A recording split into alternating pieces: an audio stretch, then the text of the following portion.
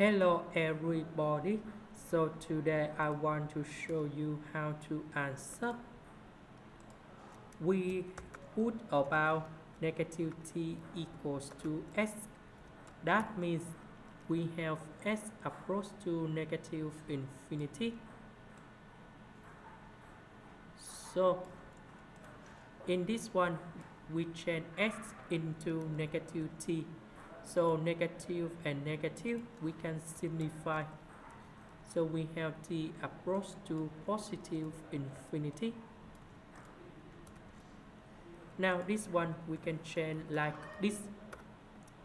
S we change for negative t.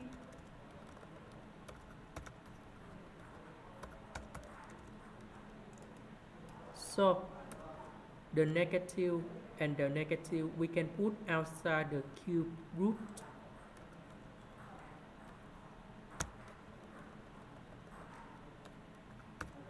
This one, we can put like this. So, we have the formula in here.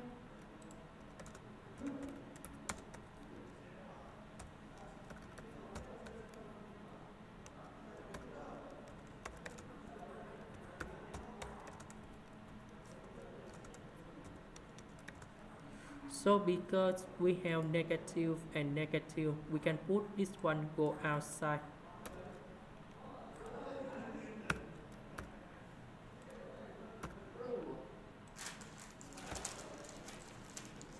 So we want to cancel the cube root.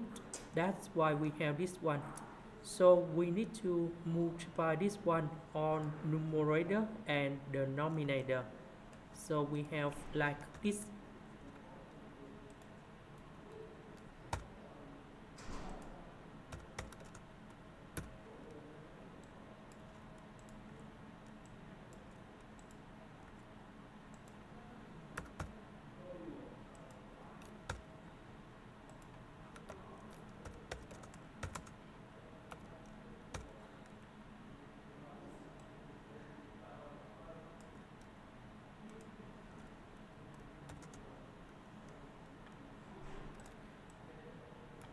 now we simplify this one.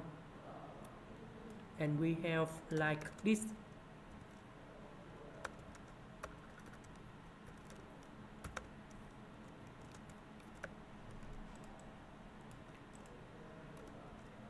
So this one we have t plus 1 so we can see that the power of this one we can put t to the power of 3 go outside. So that should be like this.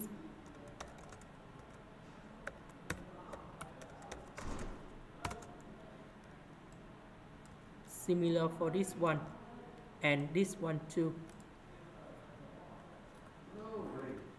So we have like this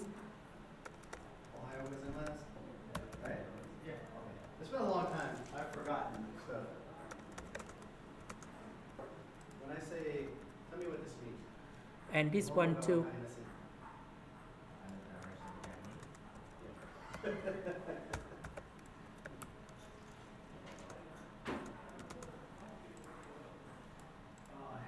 So we put this one go outside so we have t to the up. T in here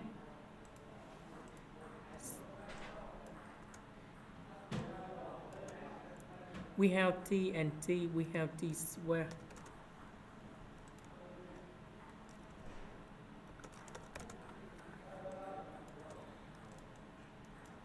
and now we can divide by t to the power of 2 on numerator and denominator.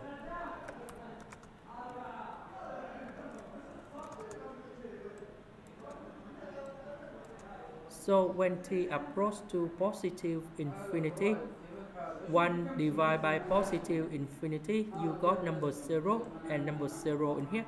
So that means the answer is number 0. This is the end. Thank you for watching.